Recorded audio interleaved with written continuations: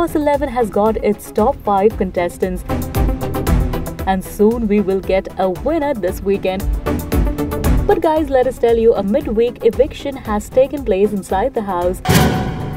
Yes. According to sources, Akash has got eliminated.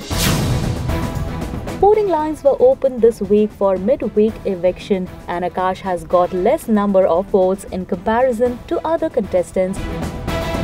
Well, with this eviction, now we get our final four contestants in this race, the finale, Hina Khan, Shilpa Shinde, Vikas Gupta and Puneesh Sharma. So what do you think? Who will win the Bigg Boss 11?